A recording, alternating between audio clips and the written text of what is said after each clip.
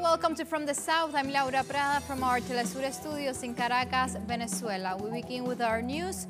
You stay with us.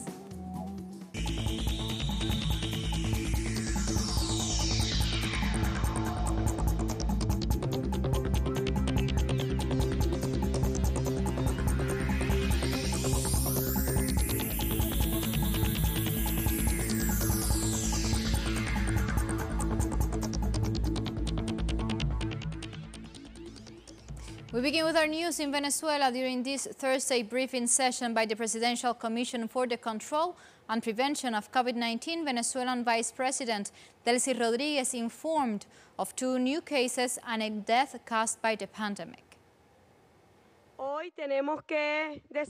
Venezuela today has two new cases of the coronavirus detected in the state of Trujillo. With deep regret, we must also inform everyone that one of those cases passed away today. We extend our condolence to the patient's family, his friends, and the community in general. Vice President stated reveal the real intentions behind U.S. President Donald Trump's invasion threats to Venezuela. On April 1st, President Trump announced that he is launching an operation in the Caribbean to protect the people of the United States from alleged drug trafficking. That is pure hypocrisy a double standard. Political selectivity to accomplish goals that have nothing to do with protecting the people of the United States. If they want to protect their people, they should prevent the massive layoff happening now. Why does he behave in such an irrational and indolent way to downplay the effects of the pandemic? Why did he not approve appropriate and early measures to slow down the outbreak? Meanwhile, the Russian Foreign Ministry spokeswoman Maria Zakharova in an online briefing condemned recent U.S. sanctions against Venezuela and the political harassment in the midst of COVID-19 health crisis. We see that the fight against coronavirus has joined efforts of all groups of population and political forces. We have been talking about this for a long period of time, but still we see that certain political groups are following the logic of opportunism and opportunistic trend in Venezuela to get to more political scores. They are just trying to inflict the serious blood in the country and its people because the idea of a coup d'etat which would topple the current president of the country is still supported by some people in this country. Russia also rejected that the United States political maneuvers against Venezuela, including accusations of drug trafficking against its leadership, in the midst of the world tragedy caused by the SARS-CoV-2 or COVID-19. We stand against blocking the support that should be provided by the International Monetary Fund, and we stand against any other measures imposed against Venezuela, but at the same time, Washington has announced a plan to settle station in Venezuela and to establish a special transitional government.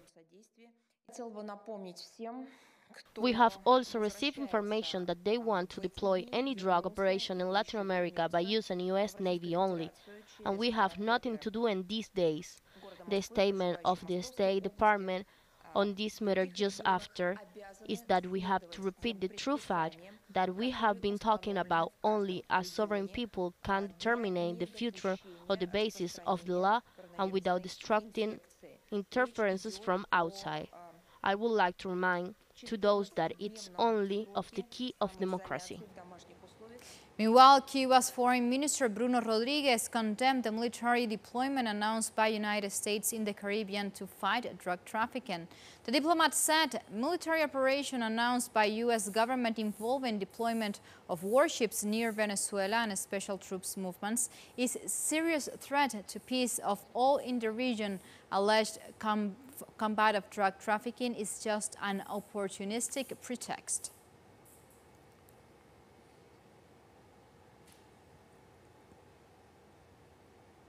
In relation to the military actions announced by Donald Trump's government against Venezuela, former Undersecretary General and Executive Director of Office for Drug Control and Crime Prevention for United Nations, Pino Arlacchi, rejected the arguments that support the U.S. armed operation claiming drug trafficking.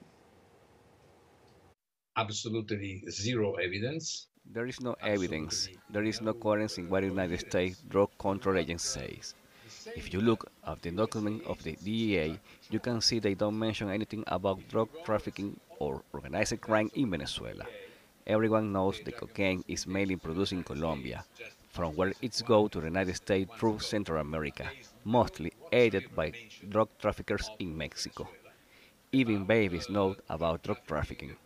Everyone knows that 96% of the cocaine is trafficked from Colombia and the rest is divided among other countries in Central America.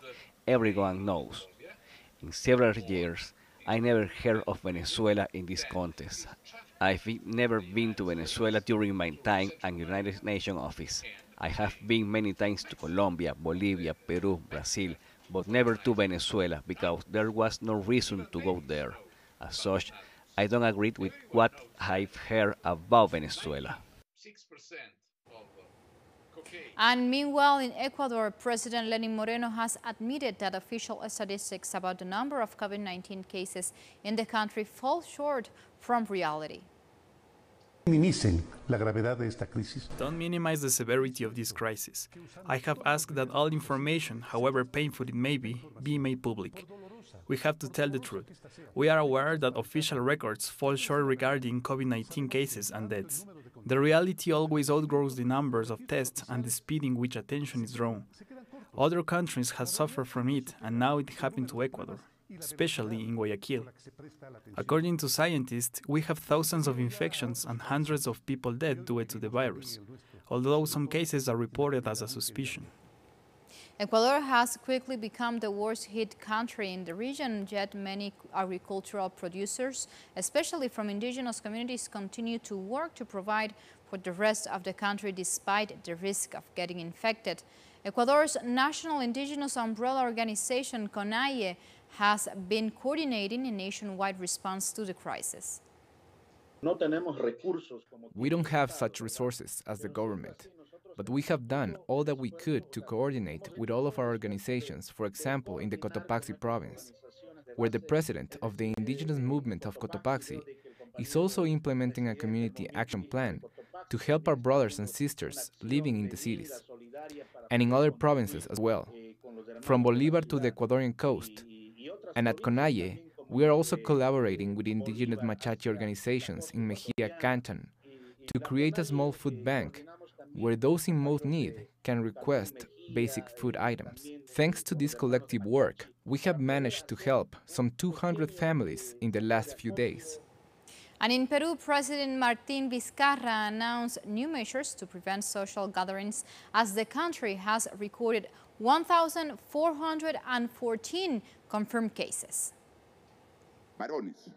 On Monday, Wednesday, and Friday, only men are allowed to go out. On Tuesday, Thursday, and Saturday, only women are allowed. This restriction will be until Sunday, April 12, and on Sundays, the restriction is for everyone. Like this, we go for a first break. Remember, follow us on Twitter at Telesur English and on my account at Laura P. Telesur. We'll be right back.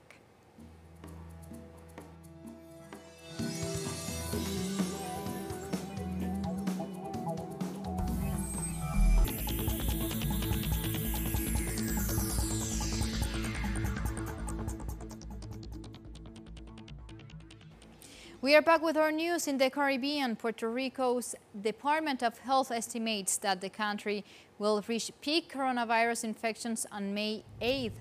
The information was released by the Secretary of Health, Lorenzo Gonzalez, who indicated that this will be known after officials begin tracking infected people in the island two weeks after the detection of the first case. The official added that testing will be carried out in the eight regions of the island and urged Puerto Ricans to comply with prevention measures decreed by the government to expedite the process and prevent the spread of the virus. Puerto Rico so far has confirmed 286 cases of COVID-19 and 11 deaths.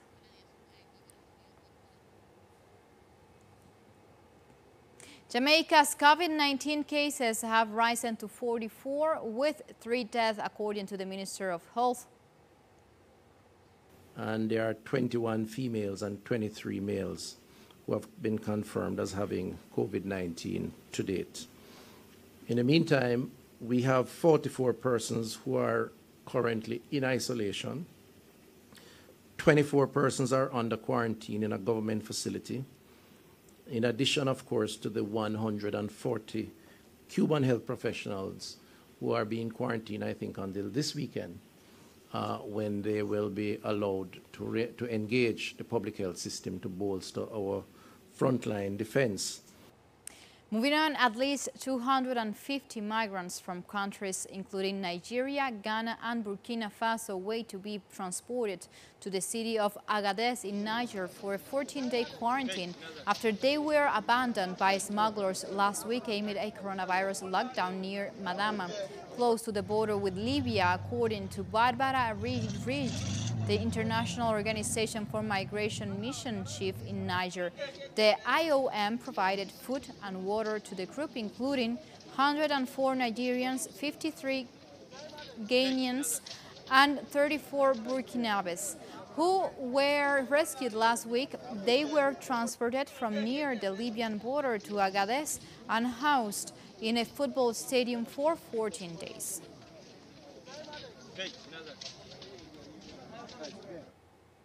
The Malian government has announced the turnout for the, the legislative elections held on March 29th was 35.73% despite the COVID-19 pandemic. I would like to congratulate all those who contributed to the smooth running of the vote throughout the country. Turnout is still a challenge in our democracy. In spite of the awareness campaign and all the preventive measures taken against COVID 19 and the deployment of defense and security forces to ensure the security of the ballot, the participation rate for the first round was 35.73%. Malawi has confirmed its first three cases of COVID-19. The government said all three cases were registered in the capital Lilongwe. One of the patients is a 63-year-old woman who had recently returned from India. The other two are her relatives and her domestic worker. With Malawi, 50 African countries have now confirmed coronavirus cases. There are only four countries, Lesotho, Comoros, South Sudan and Sao Tome and Principe, that haven't so far reported any COVID-19 cases. In Africa, more than 6,000 COVID-19 cases have been confirmed reportedly in 49 of the 55 countries of the continent.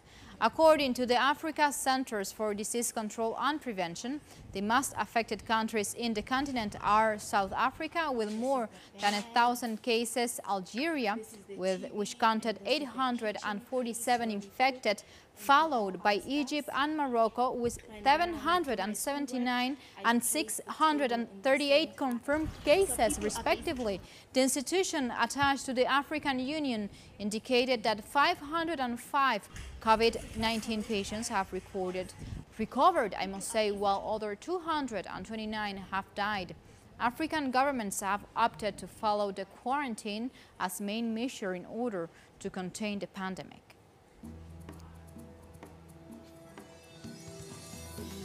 Time for another short break. You stay tuned with us.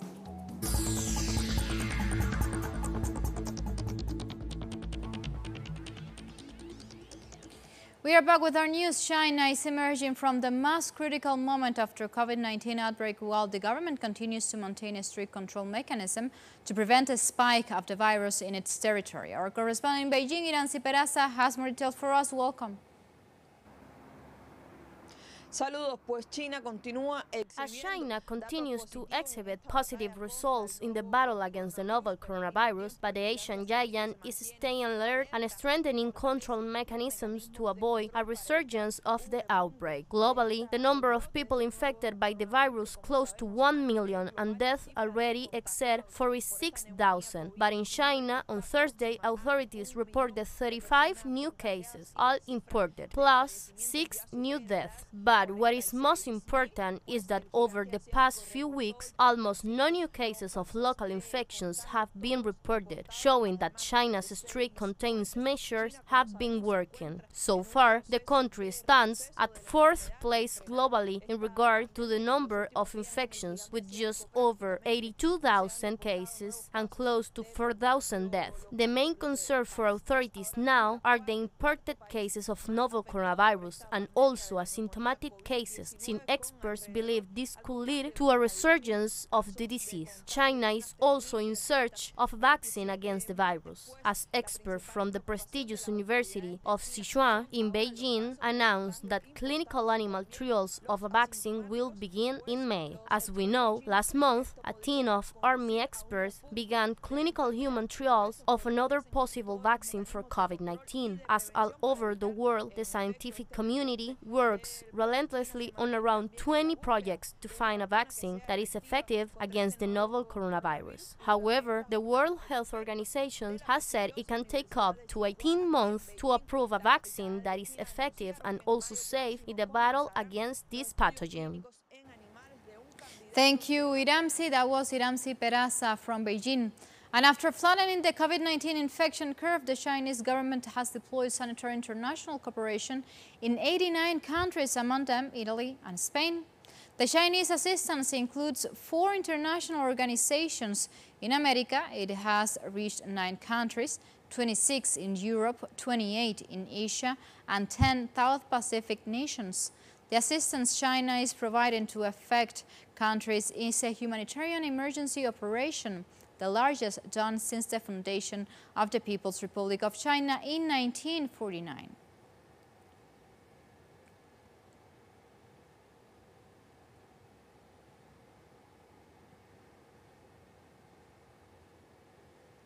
The United States has surpassed 245,000 infections and reported 6,088 deaths due to COVID-19.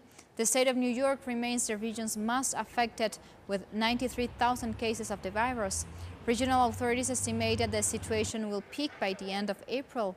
Due to this scenario, the Pentagon has said that it will supply at least 100,000 body bags to hospitals, as the White House estimates death may reach nearly 200,000.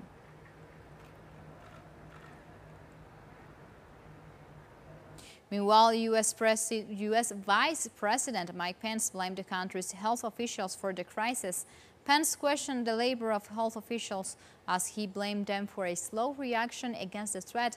The U.S. has become the global epicenter of the virus, and as such, the White House has been criticized by different social sectors over its lackluster response to the health emergency, blaming directly President Donald Trump for downplaying the magnitude of the situation.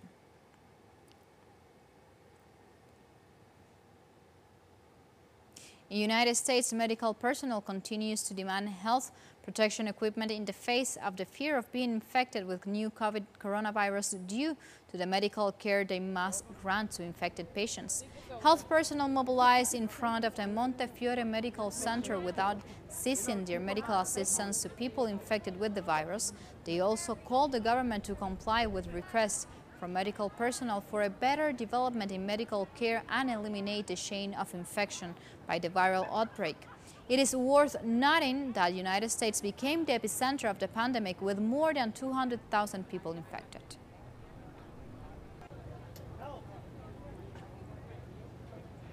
And the second largest shale oil or fracking producer in the United States has filed for bankruptcy fulfilling the prediction of financial analysts who criticized the joint oil strategy of Riyadh and Washington. Whiting Petroleum Corporation filed for Chapter 11 to protect itself during a restructuration process as a result of the sharp drop in oil prices when Saudi Arabia decided to raise its oil production to saturate the market in the face of Russia's refusal to make further price cuts. The measure was supported by the White House despite the fact that analysts warned of the damage it would cause to the shale industry. The Trump bin Salman initiative was then exacerbated by the COVID-19 pandemic, which contributed to the collapse of hydrocarbons. Parallel to Whiting Petroleum Corporation's announcement, Trump said he is making efforts to convince the kingdom to cut oil production in order to rescue oil prices.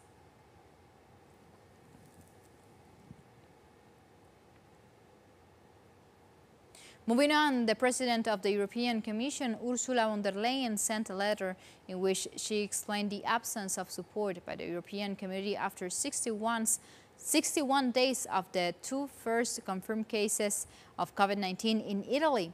The letter of the European Union came 20 days after the first Chinese shipment with medical aid landed and eight days after the first Russian convoy of sanitary aid arrived to Bergamo.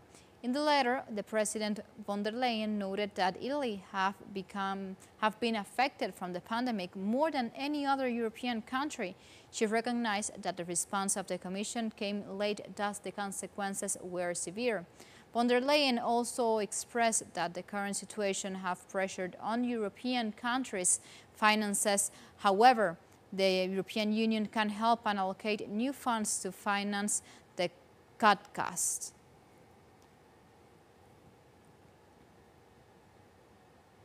And due to this threat, the European Union has pledged to raise up to 109 billion US dollars in loans to mitigate the economic impact of the coronavirus crisis in the bloc. The loan should be backed by 25 billions of guarantees committed by member states to the European Union budget. And this is why we introduced today SURE. SURE is Europe-supported short-time work it can mitigate the effects of the recession.